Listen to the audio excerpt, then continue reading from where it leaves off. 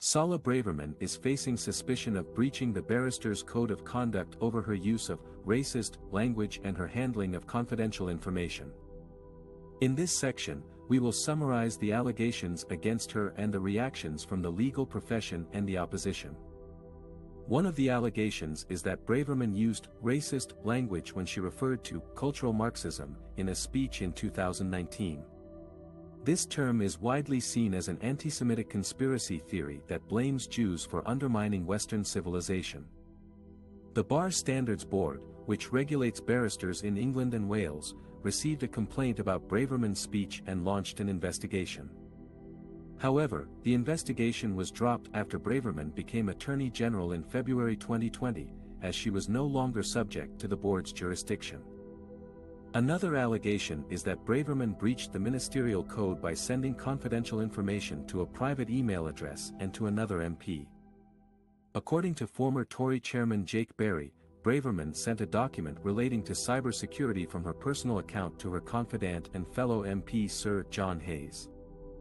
She then tried to copy in his wife and accidentally sent it to a parliamentary staffer. Berry claimed that this was a really serious breach and that the cabinet secretary Simon Case had ruled that it had broken the rules. Braverman was forced to resign as Home Secretary on October 19, 2021 after admitting to a technical infringement of the code. However, she was reappointed by Rishi Sunak six days later when he became Prime Minister. This decision sparked outrage among some of the country's top lawyers, who accused Braverman of wrecking the UK's reputation and sidelining legal advisers.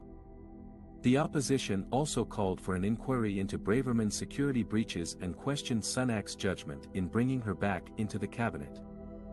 These are some of the allegations that Suella Braverman is facing over her conduct as a barrister and a minister. In the next section, we will look at how she has defended herself and what are the implications of her actions for the rule of law and the UK's international standing. Suella Braverman's reappointment as Home Secretary after resigning over a security breach has raised serious questions about the integrity and accountability of Rishi Sunak's government.